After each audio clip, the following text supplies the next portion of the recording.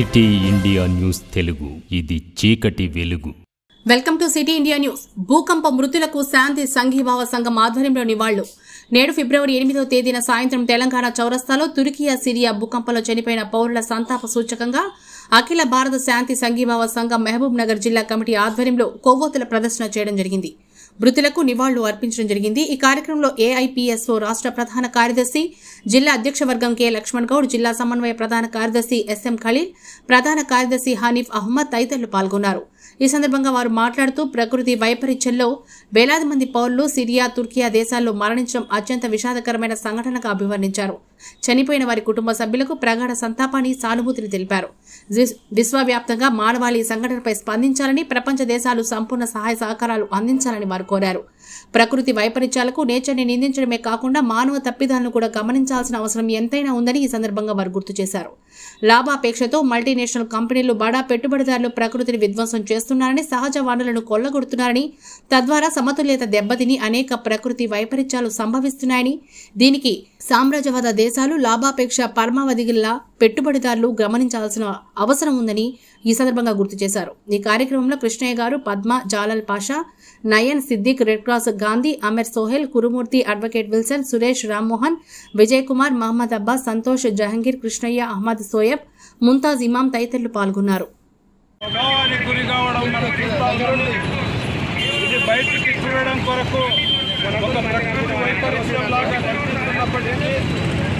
భూకంపాలు కానివ్వండి సునామీ సునామీలు కానివ్వండి ఇవన్నిటి వెనుక ఈ భూమిని సామ్రాజ్యవాదులు పెట్టుబడిదారులు తన లాభాపేక్ష కొరకు విచ్చలవిడిగా ప్రకృతిని విధ్వంసం చేయడం అనేది మనం చూస్తూ ఉన్నాం.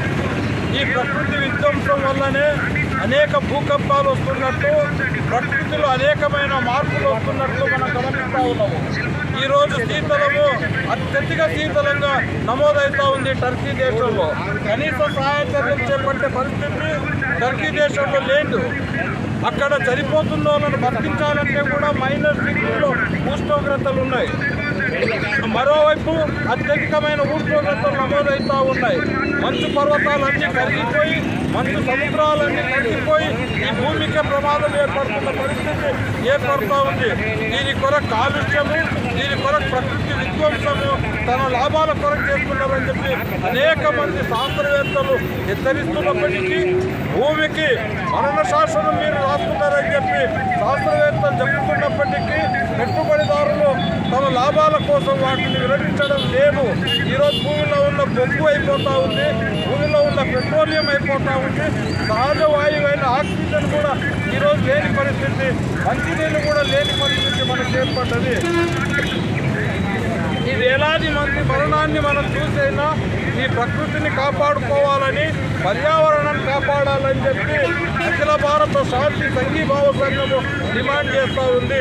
ఐదు ఆధ్వర్యంలో ప్రకృతి విధ్వంసాన్ని వ్యతిరేకంగా ఉద్యమించాలని చెప్పి అందులో భాగంగానే ఈరోజు టర్కీ సిరియా భూకంప మృతులకు నివాళులు అర్పిస్తా ఉన్నాము. ఈ నివాళులు అర్పించడం అంటే ఈ ప్రకృతిని కాపాడడం కొరకు మనము సన్నద్ధం కావాలని చెప్పి తెలియజేస్తూ ఈ అవకాశం ఇచ్చిన మీకు ధన్యవాదాలు తెలియజేస్తూ ముగిస్తా ఉన్నా.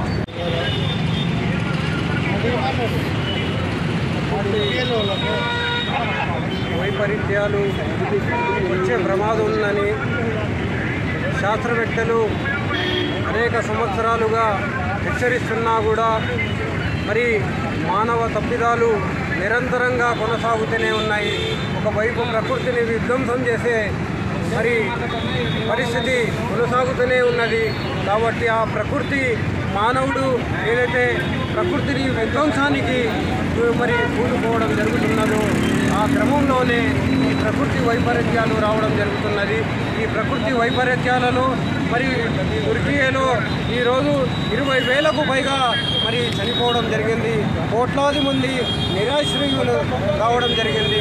కాబట్టి వెంటనే ప్రపంచ దేశాలు మానవ దృక్పథంతో ఐక్యరాజ్య సమితి మరి యుఎన్ఓ కలిసి ప్రపంచ దేశాలందరూ కలిసి తుర్కీ దేశ ప్రజలను ఆదుకోవాల్సిన అవసరం ఎంతైనా ఉందని ఈ సందర్భంగా ప్రపంచ దేశాలకు విజ్ఞప్తి చేస్తున్నాం. ఇప్పుడు విల్సన్ గారు మాట్లాడాల్సిన కోరుతాం